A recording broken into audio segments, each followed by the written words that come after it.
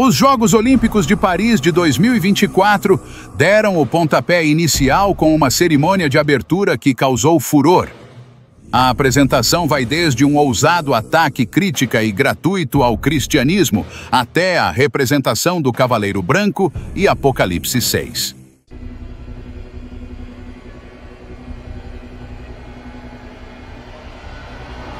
Segundo a interpretação mais comum, essa figura representa o Anticristo,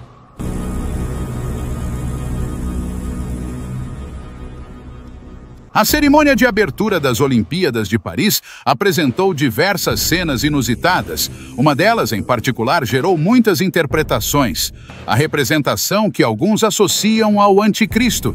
Será que isso é um sinal da iminente chegada de um líder mundial poderoso?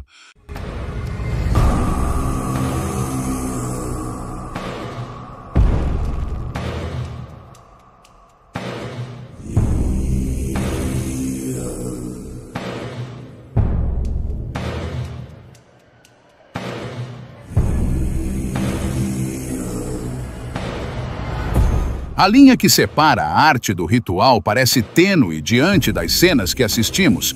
Será que estamos diante de uma simples expressão artística ou de algo mais complexo?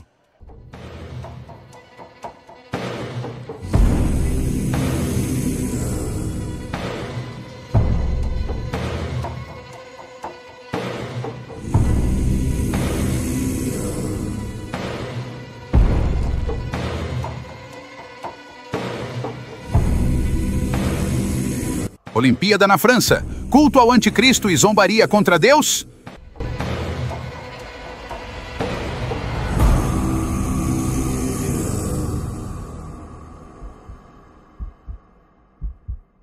Houve uma série de coisas estranhas e surpreendentes que ocorreram na abertura das Olimpíadas. Algumas dessas apresentações foram zombarias? Vamos refletir sobre isso.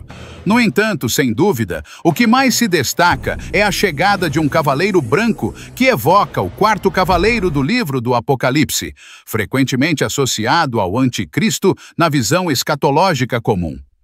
Alguns detalhes nessa performance do cavaleiro reforçam essa teoria.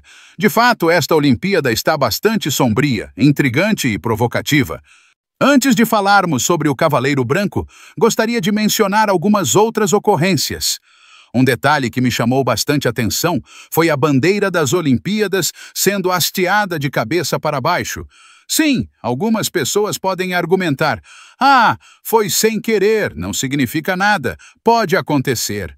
No entanto, estamos falando de uma Olimpíada. Tudo o que estamos presenciando parece cuidadosamente planejado, mas qual é o significado por trás da bandeira das Olimpíadas hasteada de cabeça para baixo?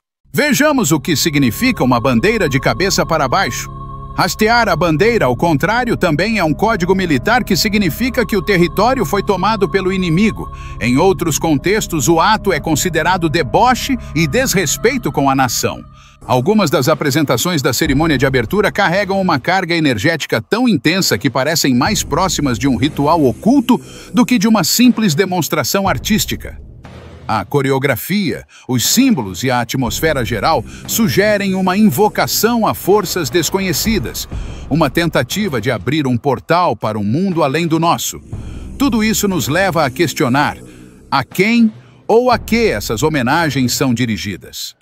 É, se você reparar, toda abertura ela foi nomeada em atos, né? Tinha um ato de liberté, outro fraternité, igualité, diversité, várias coisas que a gente meio que já esperava que fosse acontecer. Mas um deles é, me chamou a atenção porque ele falava sobre obscurité, obscuridade em português. E aí, se você parar para pensar é, e observar toda o, o, a estética, todo o cenário, toda a dança, tudo como foi montado, não foi apenas para simbolizar a noite francesa, é, uma, algo mais moderno, algo mais jovem, não foi. Por quê? A estética toda transmitia um, um ar de ritual, algo mais ritualístico, sabe? É, as danças meio estranhas, os olhares dos, dos dançarinos meio assim, hipnotizados, é, as cores usadas meio psicodélicas trazendo e puxando para um vermelho meio sombrio, meio macabro assim mesmo, sabe? E quando você olha isso com olhos espirituais, você pensa, meu Deus, o que, que eles estão fazendo? Sabe? Como eles estão se distanciando de Deus. E aí, para acabar tudo, para fechar todo esse, esse, esse ato, né, de obscurité, eles fizeram algo que foi as pessoas meio que caindo no chão, meio que num lugar assim vermelho, meio que pegando fogo, sabe? Uma estética meio de inferno, efetivamente.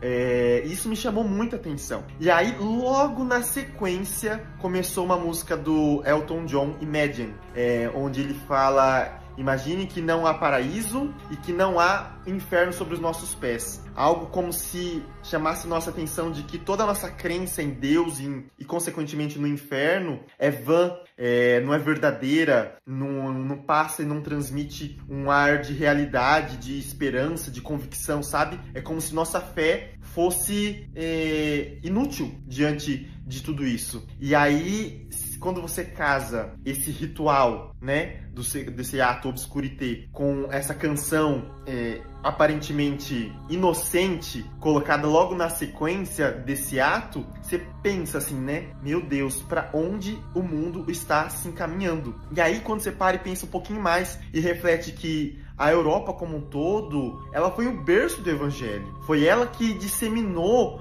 o cristianismo para todas as nações, né? É, pelas mesmo cruzadas, com seus inúmeros problemas, mas é, com as suas colonizações, levando o evangelho para outras pessoas. O próprio protestantismo nasceu na Europa, foi motivado na Europa. Então, tudo isso, você para e pensa, meu Deus, como diante de tudo isso, mesmo com a presença de Deus estando ali constantemente, eles se esfriaram, eles se afastaram da presença de Deus e estão cada vez mais puxando, sabe, para um, um, lugar obscuro, como o próprio nome do ato diz, um lugar de sofrimento, de tortura. Cara, é assim inimaginável. Agora, com as novas simbologias presentes na abertura de 2024, a dúvida se intensifica. Será que estamos diante de novas profecias sobre o futuro da humanidade, fazendo alusão à chegada do Anticristo? Durante a abertura, uma imagem chamou minha atenção. A cabeça de um boi, reminiscente das estátuas de Moloque da antiguidade. Essas estátuas eram associadas a sacrifícios humanos, especialmente de crianças, em adoração ao deus Moloque, Antes de discutirmos o Cavaleiro Branco, vale mencionar a performance da Santa Ceia. Algumas pessoas estão incomodadas com a representação desse evento por um grupo de drag queens. Na minha opinião, a escolha da pessoa que representa não importa. O que causa escândalo é a mensagem subjacente e a zombaria presente. O objetivo daquele espetáculo sobre a Santa Ceia é atacar o cristianismo de forma gratuita. Por que não o fariam se fosse sobre o Islã? Eles sabiam que os cristãos se sentirem ofendidos com isso e fizeram apenas para provocar uma reação, para rotular os cristãos de homofóbicos e outros termos pejorativos. Se um cristão chegar e disser, estou me sentindo ofendido com isso, o argumento que eles apresentam é simples. Você se sente ofendido porque as drag queens estão fazendo a representação da Santa Ceia e por isso se sente ofendido? Na verdade, é uma armadilha bem construída. Mas o objetivo ali é ridicularizar o cristianismo para demonstrar que eles não têm respeito algum pelo cristianismo. O mais engraçado é que o Papa Francisco está em silêncio durante essa polêmica toda. Vamos discutir sobre o Cavaleiro Branco apresentado na Olimpíada de Paris. A primeira coisa que me chama a atenção é a cena em que ele chega, mostrando a base da torre que representa um portão que ele cruza. Além disso, há um desenho de asas duplas atrás dele. Quando a câmera filma o cavaleiro branco de frente, enquanto ele cruza, parece que tem asas atrás dele. Ele está vestido com uma armadura e a cena foi criada para transmitir uma atmosfera mítica. Quem já leu o Apocalipse 6 automaticamente se lembra da cena quando vê isso, lembrando um anjo caído, Lúcifer, o diabo. O anticristo seria, em algumas interpretações, o próprio diabo encarnado na terra ou o porta-voz direto do diabo, Lúcifer, como futuro líder global. No Apocalipse 13, a Bíblia fala que o dragão, o diabo, deu o seu poder à besta que emerge do mar, que é o anticristo. Esse anticristo é o porta-voz central, o porta-voz direto do Lúcifer, do diabo na terra, no fim dos tempos. Alguns acreditam que o diabo irá possuir o corpo dessa pessoa e será o próprio diabo, o líder global, em uma jogada final e tentativa contra os filhos de Deus e contra Deus mesmo. Veja esta cena que mostra um cavalo mecânico com um cavaleiro montado, ambos automatizados, movendo-se sobre a água. Eles criaram essa performance com o cavalo mecânico correndo sobre a água, destacando a representação e a mensagem que desejam transmitir. Você já se perguntou sobre o significado profundo da besta que emerge do mar, descrita no Apocalipse 13? A marca da besta, um símbolo tão enigmático, está diretamente relacionada a essa criatura. Quando vemos o Cavaleiro Branco caminhando sobre as águas, uma clara alusão ao Apocalipse 6, não podemos deixar de notar a ligação com a besta do capítulo 13. Essa sequência de símbolos nos convida a uma reflexão mais profunda. Será mera coincidência ou há algo mais por trás dessas representações? Algumas pessoas afirmam que os cristãos estão fazendo tempestade em copo d'água ao sugerir que Joana Dark é a figura representada. Para aqueles que leram o Apocalipse, você realmente concorda com essa interpretação? Para quem não está familiarizado, Joana d'Arc é considerada uma padroeira da França. Ao ler a história de Joana d'Arc, vemos que ela é representada em cima de um cavalo branco, mas a semelhança para por aí. Ela não caminha sobre as águas e não possui asas. Outro detalhe bastante interessante para destacar é quem entrega a bandeira para ser hasteada, e é a bandeira que é erguida de cabeça para baixo. O cavaleiro branco emerge como vitorioso, conforme descrito em Apocalipse 6. Ele conquistou completamente o território, e quando se domina o território do inimigo, é costume erguer a bandeira de cabeça para baixo. Esse é um dos significados. Para mim, isso não é coincidência. Essa não é apenas uma apresentação de abertura qualquer. Acredito que há uma mensagem subjacente, uma clara alusão a algo maior. Essa performance parece ser um anúncio da agenda, um sinal de que algo está por vir, a pergunta que fica é: será que estão se referindo à chegada do Anticristo? Deixe sua opinião e suas conclusões nos comentários. Por que está escrito tão certo como vivo? Diz o Senhor diante de mim: todo joelho se dobrará e toda língua confessará que sou Deus. Amém. E eu quero finalizar com essa postagem no X do Adril Jorge. Veja o que ele diz em sua postagem foi a seguinte: a abertura das Olimpíadas com caricatura LGBT da Santa Ceia é para ser inclusiva ou fazer deboche? Se fizerem uma caricatura de Maomé ou de ícones do candomblé, vão dizer que é desrespeito ao culto religioso. Por que apenas o cristianismo é razão de caricatura? Talvez porque o cristianismo, que é a base do humanismo, abrace todo mundo e fundamenta a inclusão de todos, inclusive os que debocham e escarram na cara do próprio Cristo. Faça sua reflexão e oremos por todos, porque sabemos de quem é essa estratégia e quem é o manipulador de tudo isso. Chegamos ao final desse vídeo, mas antes quero compartilhar uma oportunidade incrível para você e eu estou aqui para te mostrar como. Se você tem interesse em conhecer essa oportunidade, acesse o link na descrição e no primeiro comentário do vídeo e tire suas dúvidas. Acredito que essa oportunidade pode ser a chave para a sua independência financeira. Você já se perguntou o que a Bíblia tem a dizer sobre dinheiro e riqueza? Você já desejou ter um guia prático e espiritual para a gestão financeira? Apresentamos Finanças segundo a Bíblia. Os ensinamentos de Jesus um e-book que combina sabedoria bíblica, ensinamentos de Jesus e conselhos práticos para ajudar você a transformar sua vida financeira.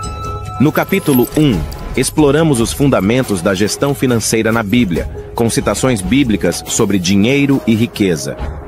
No capítulo 2, mergulhamos nos ensinamentos de Jesus sobre finanças, com histórias e parábolas que têm aplicações práticas na gestão financeira moderna. No capítulo 3, oferecemos dicas práticas e conselhos para a gestão financeira e discutimos como essas dicas se alinham com os ensinamentos bíblicos.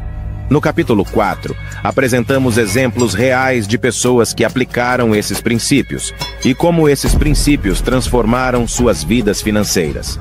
Ao fechar este livro, você não está apenas terminando uma leitura, mas embarcando em uma jornada de transformação financeira. Então, Vá em frente. Abra seu coração para a sabedoria bíblica. Aplique esses princípios à sua vida e veja como Deus pode transformar suas finanças e sua vida de maneiras que você nunca imaginou. Finanças. Segundo a Bíblia, os ensinamentos de Jesus. Disponível agora. Clique no link abaixo, adquira seu e-book e transforme sua vida financeira com os ensinamentos de Jesus. Se você apreciou este conteúdo, por favor, deixe seu like e inscreva-se. Seu apoio também é nossa motivação. Não esqueça de ativar o sino de notificações para receber as atualizações dos nossos vídeos mais recentes. Se pode e quer, ajude-nos. Entre para o clube de membros no botão abaixo do vídeo. Obrigado por se juntar a nós nesta jornada épica através das páginas da Bíblia. Continuamos juntos Homens e mulheres, jovens e crianças, voando para novos horizontes rumo à eternidade. Que vocês busquem sempre a graça de Deus e vivam em sua luz. Que a paz e a sabedoria estejam com vocês. Obrigada a todos e espero vê-los em nosso próximo vídeo. Um grande abraço. Que Deus abençoe suas vidas. Amém.